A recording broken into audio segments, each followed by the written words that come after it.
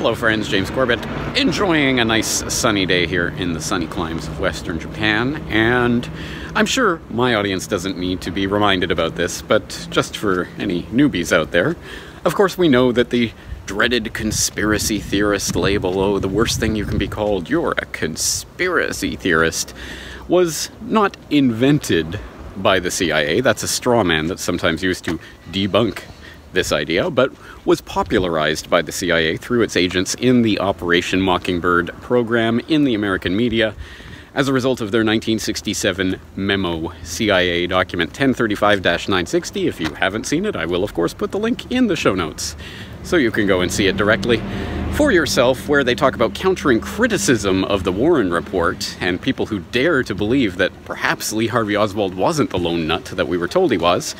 Well, one of the ways that they suggest countering such criticism is to label the crackpots who deride that notion as conspiracy theorists. They do use that term in the document.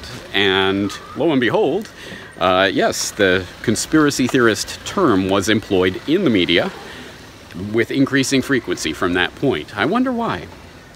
Well, as I say, I'm sure most of my regular audience already knows that story, so I uh, got an interesting little thought experiment in recently via email from Jacob? I actually don't remember the name. So, Jacob, or whoever you are, I'm very sorry if I got your name wrong, but uh, I did appreciate the thought experiment, which was basically along these lines.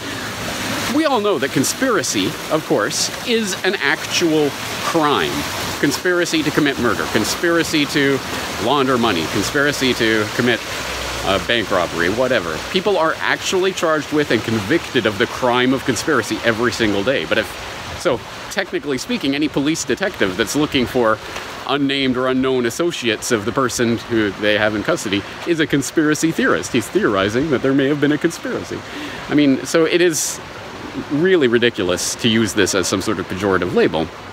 Well, let's imagine if we applied that in another context. What if there was something like burglary theorist? What if in the 1960s, as the CIA or whatever deep state agency had decided to make burglary theorist the uh, term that they would implant in the media?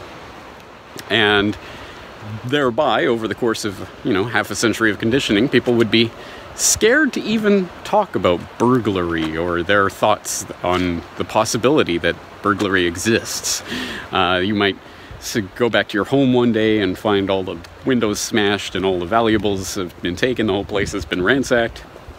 And you turn to your friend and you say, you know, I think there was a burglary here. And your friend, oh, you burglary theorist, what are you talking about?